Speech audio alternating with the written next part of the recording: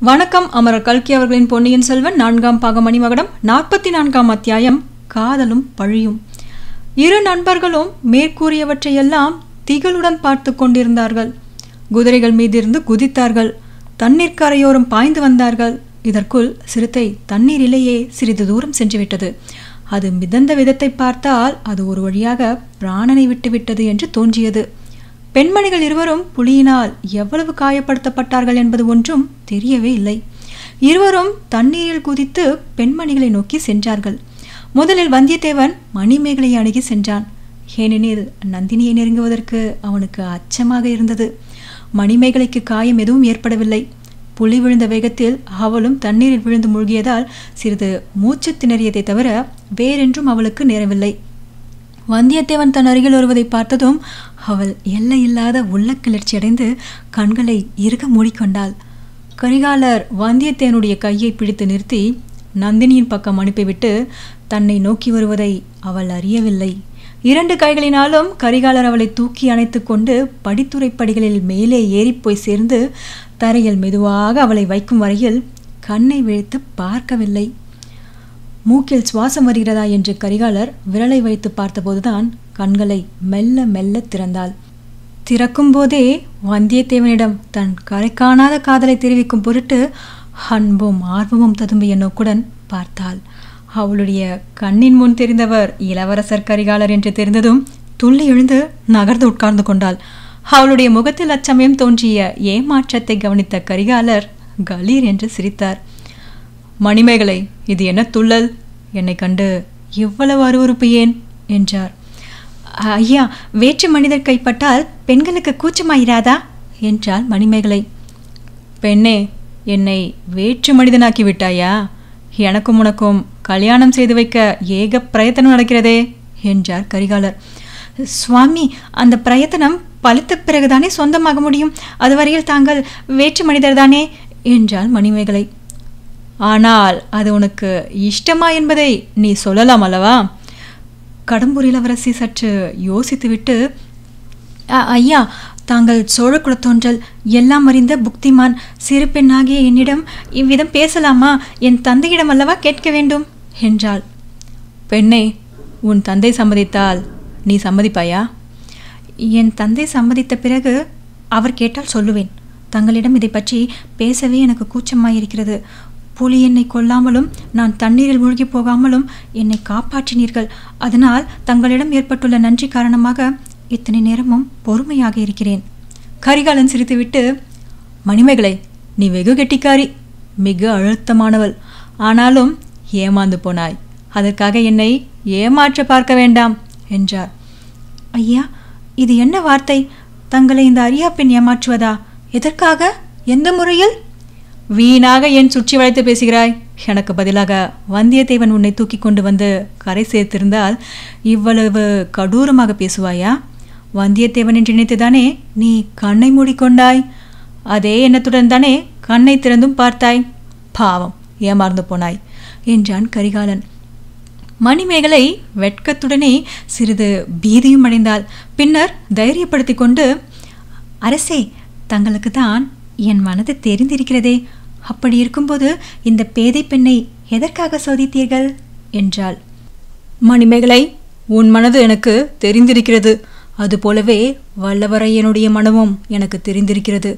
உன்னுடைய பரிசுத்தமான அன்புக்கு அவன் பாத்திரன் அல்லவே என்றுதான் யோசிக்கிறேன். அதோ பார் இளையராணி நந்தினியும் வந்தியத்தேவனும் சல்லாபம் செய்வதை. நந்தினியின் முகத்தில் குடிக்கொண்டிருக்கும் குதூகலத்தை பார் என்றார். மணிமேகலை அவர் காட்டிய திசையை பார்த்தாள். அந்த கணத்தில் அசூயை என்னும் விஷம் அவளுடைய பால் போன்ற நெஞ்சில் ஏறிவிட்டது. அதே சமயத்தில் வந்தியத்தேவனும் நந்தினியும் பேசிக் கொண்டிருந்தார்கள் நந்தினியின் தோல் ஒன்றில் புலிநகம் பட்டு ரத்தம் கசிந்து கொண்டிருந்தது. மணிமேகலையைப் போல் நந்தினி கண்ணை மூடிக்கொள்ளவும் இல்லை வந்தியத்தேவன் கைகளிலிருந்து விடுவித்துக் கொள்ள அவசரப்படவும் இல்லை. வந்தியத்தேவனோ தன் கையை சுட்டு கொண்டிருந்த நெருப்புத்தணலை கீழே போடுவது போல அவசரமாக இளையராணியை கரையில் இறக்கிவிட்டான். தண்ணீரில் மூழ்கி இருந்த போதிலும் நந்தினியின் உடம்பு உண்மையிலேயே சுட்டு கொண்டிருந்தது. வந்தியத்தேவன் உள்ளத்தில் இனந்தெரியாத பீதி குடிக்கொண்டது அவன் உடம்பு பதறியது. நந்தினி புன்னகையுடன் ஐயா ஏன் இவ்வளவு பதட்டம்? என்னை புலி என்று நினைத்து கொண்டீரா? அல்லது புலியை காக்க நினைத்து தவறாக என்னை கரை சேர்த்து விட்டதற்காக வருத்தப்படுகிறீரா? என்றாள். அமனி இவ்வளவு கொடூரமான வார்த்தைகளை சொல்ல வேண்டாம். தங்களை தொட்டு எடுத்து வரும்படி நேர்ந்து விட்டதை நினைத்து நெஞ்சு சிறிது கலக்கமடைந்தது. குற்றமுள்ள நெஞ்சு அல்லவா? அதனால் கலங்குகிறது. தேவி நான் ஒரு குற்றமும் செய்யவில்லையே. குற்றம் செய்யவில்லை. ஹம் தஞ்சை கோட்டைக்குள் பிரவேசிப்பதற்கு என் உதவியை நாடினேர். முத்திரை மோதிரத்தை கொடுத்து உதவினேன். பிறகு என் அந்தபுரத்தில் திருட்டுத்தனமாக பிரவேசித்தீர். அப்போது உமக்கு தீங்கு நேராமல் காப்பாற்றினேன். அதற்கு கைமாறி என்ன செய்தீர்? எனக்கு தெரியாமல் என்னிடம் சொல்லிக் கொள்ளாமல் திருடனைப் போல் தப்பி ஓடிப்போனீர். பழையாற இளைய பிராட்டியை சந்தித்த பிறகு என்னிடம் திரும்பி வருவதாக சொன்னீர். அந்த வாக்குறுதியையும் நிறைவேற்றவில்லை. இவையெல்லாம் குற்றம் அல்லவா? அந்த குற்றங்களை ஒப்புக்கொள்கிறேன். ஆனால் அவை ஒவ்வொன்றுக்கும் காரணம் இருக்கிறது. நான் பிறரிடம் சேவகம் செய்பவன் ஆதித்த கரிகாலருடைய கட்டளைக்கு கட்டுப்பட்டவன். இதை தாங்கள் எண்ணி பார்த்தால் என் பேரில் குற்றம் சாட்ட மாட்டீர்கள். ஆமாம். புலியின் வாயிலிருந்து ஒரு பெண்ணை காப்பாற்ற வேண்டுமென்றால் கூட கரிகாலன் கட்டளை உமக்கு வேண்டும். தண்ணீரில் மூழ்கும் பெண்ணை கரை சேர்ப்பதற்கும் அவரது அனுமதி வேண்டும். நான் கவனித்து கொண்டுதான் இருந்தேன். அடடா! மணிமேகலை காப்பாற்றுவதில் இளவரசர் எத்தனை பரபரப்பு காட்டினார்? நான் நீரில் மூழ்கி செத்து போயிருந்தால் சந்தோஷப்பட்டிருப்பார்.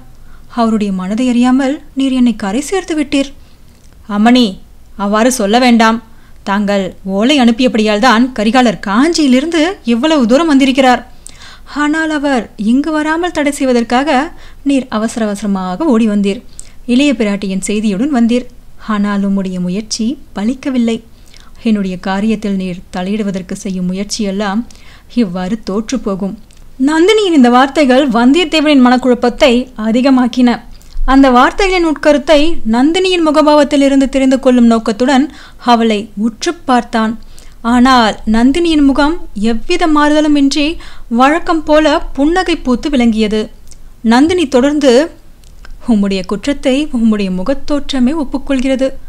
அமாவாசை ராத்திரி பள்ளிப்படைக்கு அருகில் நீர் என் வசம் அகப்பட்டீர் என் ஆட்களிடம் ஒரு சமிஞ்சை செய்திருந்தால் போதும். உம்மை கொன்றிருப்பார்கள். அப்போதும் உம் உயிரை காப்பாற்றி அனுப்பினேன். அதற்கு கூட உமக்கு நன்றி இல்லை. உம்மை போல் நன்றி கெட்ட மனிதரை இந்த உலகத்தில் நான் பார்த்ததே இல்லை. தேவி என் மனதில் தங்களிடம் பரிபூர்ண நன்றி குடிகொண்டிருக்கிறது. சத்தியமாக சொல்லுகிறேன். ஆனால் இந்த ஊருக்கு நாம் வந்து இத்தனை நாளாகியும் உமது நன்றியை தெரிவிப்பதற்கு நீர் ஒரு முயற்சியும் செய்யவில்லையே. உமது வார்த்தையை நான் எப்படி நம்புவது? தங்களை தனியாக சந்திக்கும் போது தெரிவித்துக் கொள்ளலாம் என்றிருந்தேன். அதற்குரிய சந்தர்ப்பம் கிடைக்கவில்லை. சந்தர்ப்பம் ஏற்படுத்திக் கொள்ள நீர் ஒருவித முயற்சியும் செய்யவில்லை. முகத்தோற்றத்தினால் கண் பார்வையினால் ஒரு குறிப்பு வெளியிட கூட இல்லை. ஏன்? இத்தனை நாளாக என் பக்கம் ஒரு தடவையாவது திரும்பி பார்க்க கூட இல்லை. தேவி தாங்கள் சோழ நாட்டு தனாதிகாரி பெரிய பழுவேட்டராயரின் தர்மபத்தினி. அதாவது கிழவனை கல்யாணம் செய்து கொண்டவள். என்று என்னை பரிகசிக்கிறீர்? இல்லையா? ஐயோ தாங்களை நான் பரிகசித்தால் கொடிய நரகத்துக்கு போவேன். வேண்டாம் வேண்டாம். எது எப்படி இருந்தாலும் சரி.